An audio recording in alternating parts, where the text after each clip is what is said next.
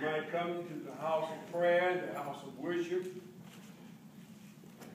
Focus our minds on what thus says the Lord. Yes, sir.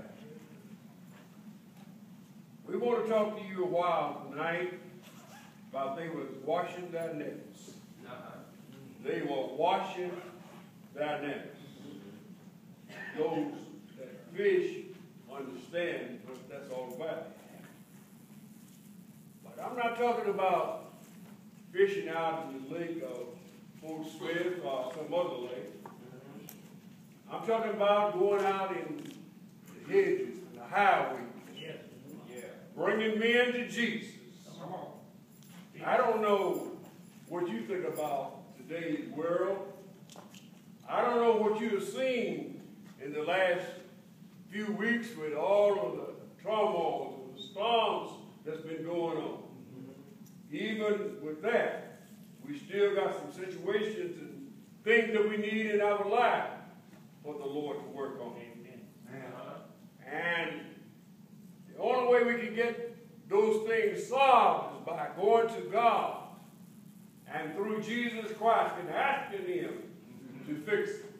Yes, sir. I thought uh, Brother Gibson was going to sing my favorite song. He didn't, but that's all right. I'll talk to him after church. You know, you know, I know. Gave me the signal to come on up, and I just done him like that. We're good friends. We go back a long ways. Uh, let's look at this passage, if you will, because I know I'm not going to pick up a whole bunch of your time. And it came to pass that as the people pressed upon him to hear his word, to hear the word of God, he stood by the lake of Gennesaret and saw two ships standing by the lake. But the fisherman was going out of them and was washing their nets. So you see why I got the subject. They were washing their nets. I want you to just look at that passage real quick. Back in that time, it was getting ready for Jesus to go toward the cross. And folk that was around him had seen some of the miracles that he was doing. Mm-hmm. You know, it's a wonderful thing that Jesus done. He gave sight to the blind, he healed the sick, mm-hmm. and he raised the dead. Oh, yeah. You know, even now, those with broken hearts, Uh-huh. he's still mending those broken hearts. Mm-hmm. He's still healing those homes that have uh, destruction in them. I say destruction, and I mean in every sense of the word destruction, because when you got a family messed up, there's nothing else but destruction. The husband at the wife, the wife at the husband, the children at the parents, and y'all know what I'm talking about, don't you? You've seen that in some of our dysfunctional families. But God can make things right. That's when you got to start over again. Lay it all down, call everybody together, and say, listen, we're on the wrong track. We need things to go right in this house. And one of the things that catches my attention here is that they heard the word of God. Yeah. I'm not coming here for you to hear me tonight. That's right. And although I appreciate Brother Ty, and he and I are going to have some words, waking me up at 11.45 tonight. but nevertheless, you got to be ready always. That's right. Be ready. That's I right. guess because I'm an older preacher, you won't just won't pick on me, see if I still got any blood circulating. I don't know. But you know, it's a good thing we Christians that study our Bibles, we can we can take time to share whatever in the Bible with other people. Sometimes people will come and say, well, man wrote the book. Yeah, that's true. Elijah, Moses, John the Baptist was all in there. Jesus writing. Apostle Paul, Mark, Luke, and John, they're all writing. But these are inspired men. And they began to write. They didn't just write what they wanted to write, but they wrote what God is finding right. We are encouraged to set our affection on things above. There's so much, as I said a minute ago, that you could have your mind on tonight. You could be sitting behind your TV set and enjoy your favorite program that comes on on Sunday. But nevertheless, you made a choice to come to this place to study God's Word. And, and, and God's going to bless you.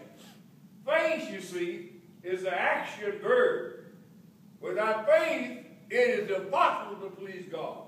He that comes to God must believe that He is and that He is a rewarder of them that diligent, That's right. diligently seek Him. So you got to make some effort. That's You just can't sit there and wait for uh, lightning to come out of the top of the sky and hit you in the head. It could do that, but you'd be dead. Serious about that. light Lightning will kill you dead a doornail.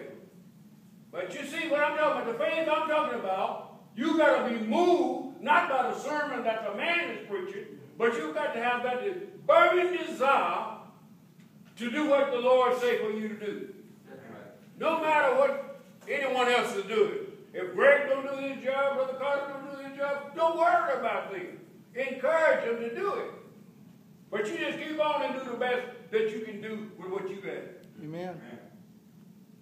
We are called out of darkness through obeying the gospel of Christ. We are to go out into the edge. You know, after I read Jesus saying that, I found out what the edge was. That's going out there amongst those that uh, substance abusers. Y'all know what substance abusers are, don't you? You I, I got to tell y'all what that is. Huh? Y'all looking at me funny. Crack, marijuana smokers. Uh, but well, I can go on. But I won't, I won't go on. But you got to go into the hedges. You got to go out there where they are. Man, I ain't going out there. Didn't Jesus do it? Huh? Right? He sat in the seat with the harlots. Yep. Even the harlot washed his feet with her hair. Y'all know what that is, don't you? Yep. All right. See, sometimes we try to pick and choose where we go to take the gospel. Amen. But gospel is for everyone. Whether they're Christian, non-Christian, hypocrites, or whoever it is. The word of God will help us. We go out in the hedges and the highways and we compel men to follow Jesus. Jesus calls to this church, take up your cross. Take it up. It's not going to be easy. The road is going to be long. Sometimes you, as brothers in the church and sisters in the church, you have to lose some sleep. You lose some sleep sometimes. Uh, and, and, you know, sometimes we, we, we come to a assembly like this and we say, well, it's so boring. It's so boring. But what are you contributing, I ask tonight, what are you contributing to God's kingdom? What are you doing to make the church grow? If somebody looked at you, could they criticize you? Could they say that, well, he was trying to teach me, but he was so boring I didn't want to listen to him? Could they say that about you? We are but earthen vessels. That's all we are. Some of us are a little older than others, some of us are a little younger than others, but it's still your job to teach the truth. It is still your job carry the word. Going to get my, where you want me in a minute. Amen. Then uh, we see so many evildoers right in the church. And that gets, that gets us all bumfuzzled. Where? But listen to what the psalmist said. He said, Fret not yourself with evildoers, for they shall soon be cut off. Don't you worry about those people that you think is a hypocrite. Don't you worry about those people that's not living right. You try to live right. And try to help that person to know when to repent. The fisherman had left out of the ship. I look around Ninth Street tonight and this morning and I see a lot of our brothers and sisters have left the ship. They don't know that the old storm of life is going to come. They don't know that the old damn wagon is going to roll up wherever they are and carry them down to the undertaker. Then one day they're going to have to stand before all righteous God. What will God say to them? Will he say to them, well done, thy good and faithful servant? Or will he say to them, depart from me because you workers of iniquity? They were watching that. that. You know what that tells me? That tells me they were through for the day. If they're watching the net, they're not going to fish no more. They're through. And sometimes we, we go to church on Sunday morning, but not Sunday night. Sometimes we go to church on Sunday night, but not on Sunday morning. We're through. We get we leave the church. I call it Sunday church. But after we leave the church and before we can get outside, some words come out of our mouth that never should come out of a Christian's mouth. Y'all hear me? Amen. You hear me? I'm not talking about cursing either. Sometimes it's backstabbing. Sometimes it's gossip. Oh yeah. You got to cast out your net. That's got to be casted out. Lay aside every, lay aside every weight of sin that so easily besets you and run this race with patience. The opportunity comes for us to glorify God tonight, but somebody chose to stay at home. Hello? Supposing this was the day that the Lord was coming back. You see, it goes, judgment will begin where? Where? House of And if they're not here, then what? They missed him, didn't they? If judgment going to begin with us, he said, the righteous scarcely be saved. Where shall the ungodly stay? Man, I got to worry about that. If I ain't been right, I better, I better get right. The opportunity to stand for us tonight to not only wash out our net, but lay down our nets.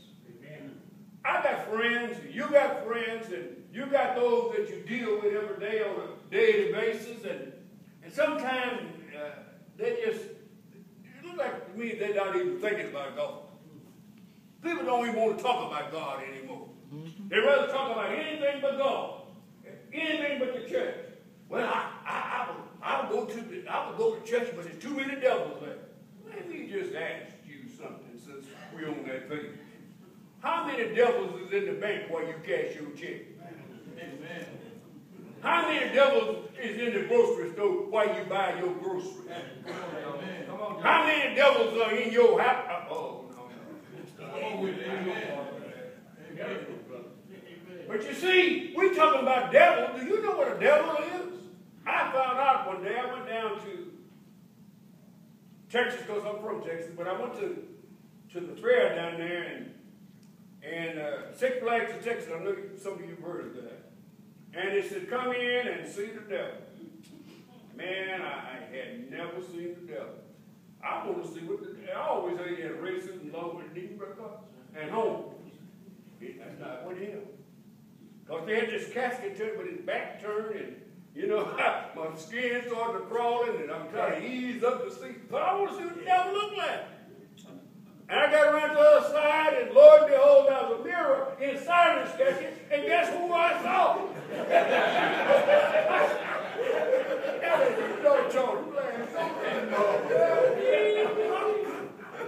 I told you I found out who the devil was. I, I've been looking for the wrong rascal. I found out who the devil was. And while you pointing fingers at somebody else, that other person is coming back to you. Amen. I'm going to cast out the net. You see, the opportunity is presented to each of us every day. Sometimes it's the garbage man. Sometimes it's the mailman. Sometimes it's the cashier in the store. If you don't say no more than say, uh, we having service at 945 9th Street Church of Christ, 1930 North 9th Street. I'd like to see you there Sunday. That don't mean you got to preach the whole Bible to them to get them to come to church, do it. They can't tell you but one thing. Well, I, am going to my church. That's the other what they're going to tell you. Right. I'm going to my church. Well, I, I'd like to see if you could come to the Lord's church. See? You, you broke the ice. The next time you see him, you can just keep on working on it. Mm-hmm. We're not questioning people's motives for going where they go, but generally speaking, folk want to go to the church they're going to because of family, because of relatives. This is where my relative went, and my pastor. Your pastor can bust hell wide open as you can. Amen. Your family can bust hell wide open as you can. Y'all look at me funny because I said hell. Hell is not a bad word. Hell is a bad place. Amen. Simon, Simon says, Master, we have toiled all night. Brandon, you know if you've been up all night, you ready to go to bed. All night. And we haven't taken nothing. You know, I know Brother Leon is a great fisherman, but if he doesn't been out there fishing all night, no, use. Brother Carter went on and tell him, say, Leon, let's go back out one more try. He said, no, man, I'm tired. That's what we do the Lord's church. I'm just too tired. I got this to do. I got that to do. But you let a you let one of the football games, the basketball games come on and uh, uh, sale, uh, what's that, blue light sale out to Walmart or Sam's or wherever it's at. We make business in it's at. That, that Black Friday day, we going out there to get those sales, won't we? We're going to go get those sales. But, but we don't have enough money to put in the Lord's plate when he come around to the plate. Uh-oh. Go talk about money. Well, you got to. The light's don't run free. Brother Leon talking about getting a water fountain out there. That water fountain is going to cost some money. So we got to put some more money in the plate. Now, Brother Bishop's not getting all the money. Some of that money going to some, somewhere else. For other things, fellowships, gospel meetings. See? Even one day, even one day we hope put Brother Greg on salary. That's right, Brother Greg. I'm going to speak up for you. I'm going to speak up for you. Man, this young man is in here working with our young people. Man. And a workman deserves his what now? How? And we should what? I know y'all folk gonna get quiet. Don't muzzle the ox. He's a young ox. Don't muzzle it. That's Bible now. That is Bible. Now you might get upset with the way I teach, the way I say things. I get mad at myself sometimes. But uh, our faith should be prompted by what we believe. If we're not going to practice these things that, that we're talking about here tonight, about casting out our nets, then we're in the wrong business. When they had this done, I want you to know something, that they were blessed, Brother Dwayne. This group of people, it's a they. Simon wouldn't buy himself, Brother William. He wouldn't buy himself. He said they. Amen. Cast it out their net. They're taking in so many fish that it broke the net. See, when you do what God say do, blessings are going to come your way. You may be walking down the street, pick up a hundred dollar bill. You don't know. God will bless your life. He might not bless you with any money. He might bless you with a good job. He might bless you with a good wife. He might bless you with a good husband. But he might bless you with a reasonable portion of strength and health. All he, all he told you he's going to give you was what? Three scores and ten, and by reasonable chance give you four scores. Water, food, shelter, and rains. That other stuff is blessings. See, you just had to look at it right. Some of them stocks you got over there in the bank and accumulating all that interest, you're going to die leaving for somebody to fuss over. That's all it's going to do. I've seen it happen too many times. Amen. You can't take it with you because if you could, Wal- uh, Walmart would have had a, a U-Haul trailer behind it. He gave he, uh, Jesus, if you can remember, he said, "If I be lifted up, yes. I will draw all men unto me." Yes. We can't lift up Jesus until we live that life. People look for us not for a sermon, but they look for us for our example. You know, we must become dead to the love and practice of sin. Mm-hmm. You remember that Jesus was laid in a borrowed tomb. Mm-hmm. You remember that Mary Magdalene and Martha went down to the grave early that morning. But Jesus had got up. Yes. And old Paul said, Oh, grave, Where is that sting? Oh, death, where is thy victory? Don't you know that Jesus was able to overcome? All things are possible through him. We can run here and we can run there. But it's nowhere you can go. You can go to the end of the earth and the Lord is there. You can go to the depths of the sea and the Lord is there. There's nowhere you can go that you can get away from the Lord. He's going to always be there. You can't, you can't escape death. No matter what you do. Paul said, I will not have you ignorant, brethren, of those that are asleep. He's talking about dead folks. But then they're going to get up. And then all of us, when the trump of the Lord shall sound, is going to be judged for every deed that's done in our body. Mm-hmm. I want to just conclude right here, and I want to look at verse 6. And when they had this done, they enclosed a multitude of fish, and their net broke. They beckoned unto their partners which were in the other ship, that they should come and help them. And they came and filled both of the ships, so that they began to sink. Bring your friends. Bring your neighbors. Bring whosoever will. The Bible said, whosoever will, let him come. Jesus, I stand at the door and knock. If any man will open to me, I will come and sup with him. The Lord is willing to come into your life tonight. I don't know what's going on with you as a member of the Lord's church. Maybe you uh, been like I've been all this year, like Satan been trying to push me everywhere but lose. Man, I, I, tell you, I, I just, whoo, sometimes I, I break cry. I said, man, look at me. I lean over this way, pop me one, I lean over that way, pop me another way. But you know what? I got to think. Yes. That's wonderful brothers and sisters in Christ that will take you up on their shoulder. They'll take you on their shoulder. You can talk to them. And they'll talk to you. And, and you don't have to worry about it going all over town. They'll talk to you. Look, I've been just where you are. I'm willing to help you overcome this. That's what we are as Christians. We help helpers one another. We're to bear one another's burdens. Yes, yes, it's true. We're to bear our own burdens. But as, as Christians, we're a family of God. And it should never be too hard for a family to come together. When there's misunderstanding in the family, what do we do? We try to resolve. Sometimes it's never resolved. Sometimes it's never resolved. Sometimes people have to separate themselves from their families. Sometimes uh, uh, you, you, see folk in the church, they done had a falling, you tell them they had a falling out.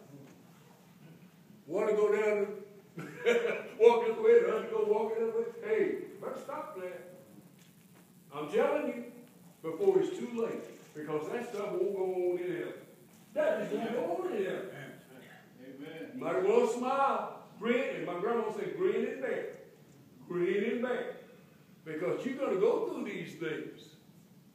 You know, I, I can appreciate Brother Bishop, and Brother Ty, uh, Brother Green, and all the, the other inspired ministers that's inspired to teach. We got some other teachers here. And I'm, I'm just waiting to hear. I heard a young man told me today that he hoped to walk Amen. in this walk. And you know what? That made me feel good. I said, I want to stand back, brother, and watch you go. I don't want to see him fall, because if I see him fall, then I'm going to reach and put my hand in his arm. Not to embarrass him, but to be there as a friend. Be there as a brother in Christ. That's what we should do. Right. Be there for brothers in Christ. We're not here to criticize each other. Don't you know that's what hurts? The world looks at us, how we handle each other here. That's how you cast your net out. People are going to see your net. They're going to see, see your works in the Lord. You here tonight, and you have not obeyed the gospel of Jesus Christ. One thing that you need to know is that Jesus died on the cross. That's right.